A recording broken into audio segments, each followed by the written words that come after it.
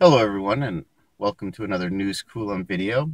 I'm here in Madera, California. This is uh, not quite a famous charger, but it's one of the chargers that a lot of people would use on a uh, north-southbound trip in uh, California along Highway 99. It was also a charger that Alex Venz featured in his video where he was using his Model S with the CHAdeMO adapter to test the public charging infrastructure. He used the one at Chowchilla, passing this one up thinking it wasn't necessarily faster. I've used it before. It was 100 amp at the time, but apparently EVgo has updated this charger. But the one in Chowchilla that Alex used was still 100 amp.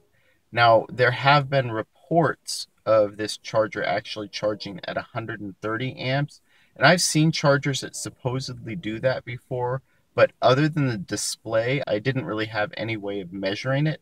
But this time I do. So I'm going to go ahead and hook up and I, I want to see if I can verify with other tools that it is actually charging at 130 amps or if it's just some weird error with the display.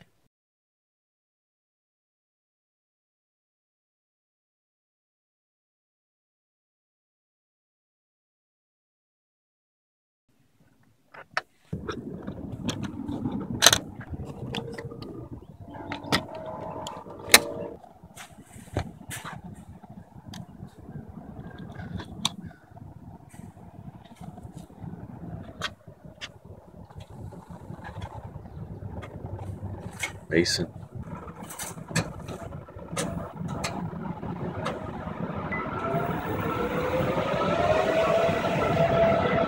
Let's see if we can get a 130 amp reading on this. Indeed we can. All right. Uh, Madera. As you can see from the display here, Nothing goes over 125 amps. Both Torque Pro and the Driver Instrument Center both show the same rate of charge, so it really doesn't look like this station is offering more than that 125 amps. So the 130 amps that's being displayed on the station itself is not accurate. I'm not sure why that error occurs, but don't get your hopes up if you want to two or three minute faster charge. I don't think it's going to happen. All right, so consider that myth busted. It doesn't look like the display is accurate.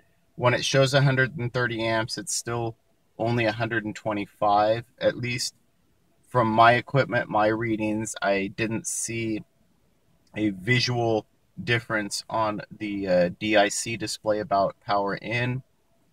Torque Pro didn't show 130 amps, only showed 125.